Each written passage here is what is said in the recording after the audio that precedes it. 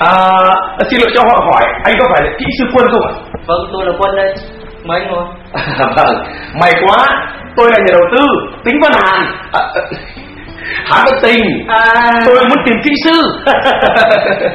ông là nhà đầu tư Hán Văn Tình đấy ạ. Vâng. À, vâng, có việc gì ông cứ trình bày. tôi được ông Ngô giới thiệu tới đây, nhờ ông tư vấn cho việc lắp đặt hệ thống nước cho trung tâm thương mại 35 tầng. Thế thì ông tìm đúng người rồi đấy. này ông biết không? Toàn bộ ống dẫn nước cái khu căn hộ cao cấp này là do tôi đảm nhận hết đấy ông ạ. Ồ, thế thì tuyệt quá.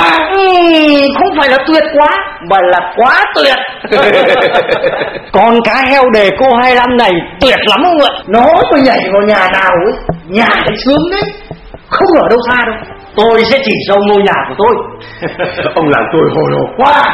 đây đây đây đây các hệ thống dẫn nước các phụ kiện dẫn nước bình nóng lạnh này.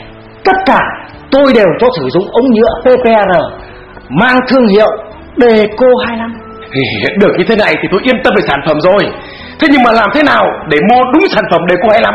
Ừm, ông chỉ được cái lo xa nhãn hiệu đề cô 25 đã được bảo hộ độc quyền. Công ty Phúc Hà có cả một hệ thống bảo hộ và nhận diện thương hiệu trên cả nước có dấu hiệu nho nhe vi phạm là bị xử lý ngay Nhưng nếu phát hiện bán hàng hóa có dấu hiệu xâm phạm quyền thì phải gửi đơn tố cáo đến đến những cơ quan nào? khi phát hiện hành vi vận chuyển buôn bán hàng hóa có dấu hiệu xâm phạm quyền thì đơn yêu cầu xử lý hành vi xâm phạm nên gửi đến cơ quan quản lý thị trường để xử lý hành vi xâm phạm. Yeah.